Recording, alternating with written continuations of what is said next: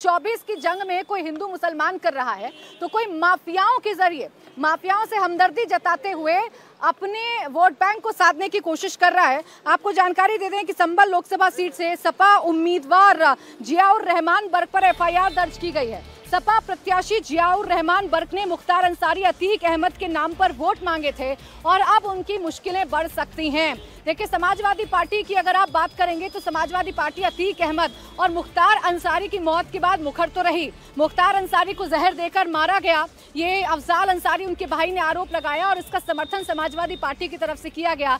अब उनके कैंडिडेट जियाउर रहमान बर्क उनकी तरफ़ से भी अतीक अहमद और माफिया मुख्तार अंसारी के नाम पर वोट मांगा गया। उनके खिलाफ अब एफआईआर दर्ज हो गई है। आपको जानकारी दे दें कि शफीकुर रहमान बर्ग का हाल ही में निधन हुआ और उसके बाद जियाउर रहमान को सपा ने टिकट दे दिया था। जो कुर्बानी जो कुर्बानी, जो परेशानी बीजेपी के टाइम में हुई है, वो आपको ज़्यादा बताने की ज़रूरत नहीं है। चाहे आज़म खान साहब को जेल में उनके पूरे परिवार को जेल में डालकर जो किया गया है। चाहे हमारे शाहबुद्दीन साहब हो, अतीक अहमद साहब हो, मुख्तार अंसारी साहब हो, जो उनके साथ में जो सूरत हाल हुई है, कोई उनको भूल नहीं सकता। मेरी गुजारिश है आप सब लोगों से, कसम है आप लोगों को, कि उनकी कुर्बानी क्यों जाया मत होने देना और इस भारतीय जनता पार्टी का टुकड़ा साफ़ होकर निकल देना।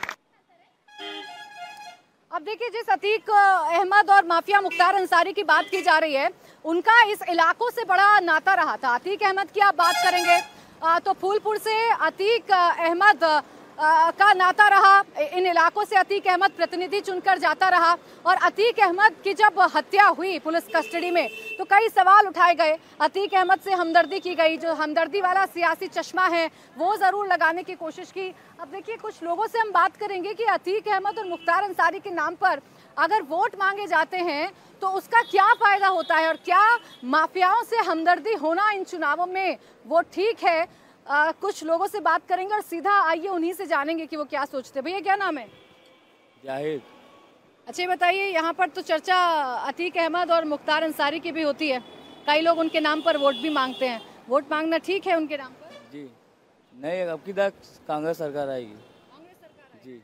अब देखिए मुद्दे पता हो या ना हो लेकिन कांग्रेस सरकार की बात यहाँ पर लोग कर रहे हैं। हालाँकि ये जो सीट है अगर आप फूलपुर की बात करेंगे तो ये सीट सिर्फ़ समाजवादी पार्टी के खाते में जाती हुई नज़र आ रही आइए कुछ और लोगों से अतीक अहमद और माफिया मुख्तार अंसारी पर बात करते क्या नाम है भैया? मानिक चंद अच्छा बताइए कुछ लोग हैं अतीक अहमद का तो इस इलाके से नाता रहा। अतीक अहमद की हत्या प्रयागराज में हुई पुलिस कस्टडी में। कुछ लोग हैं कि उनकी मौत के बाद बार बार कहते हैं कि गलत है सहानुभूति दिखाते हैं। कोई असर है इस मुद्दे का यहाँ पर? ऐसा तो हम लोग कुछ नहीं चाहते हैं। सभी लोग यही हम लोग चाहते हैं कि सभी लोग अच्छे से रहें। और इतना इतना हम लोग को किसी को विरोध नहीं है कि किसी का हम लोग विरोध करें। अपना अपना सोच है आदमियों का। कौन सा नेता अच्छा लगता है सबसे सभी लगते हैं मैडम। क्या करें जो रहेगा सत्ता में वही अच्छा है जो नहीं है वो नहीं अच्छा है। सत्ता में लाने वाले तो आप ही हैं। अरे एक अकेले आदमी से कुछ नहीं होता सभी चाहते हैं तभी होता है। एक एक वोट कीमती है। आप वोटर हैं? जी। वोट डालते हैं? जी बिल्कुल। अतीक और माफिया मुख्तार की खूब चर्चा है यूपी में। आप ही के तो यहीं बगल के प्रयागराज के रहने वाले। कई बार सांसद भी चुने गए अतीक अहमद। उनके मरने के बाद बहुत सियासत हुई।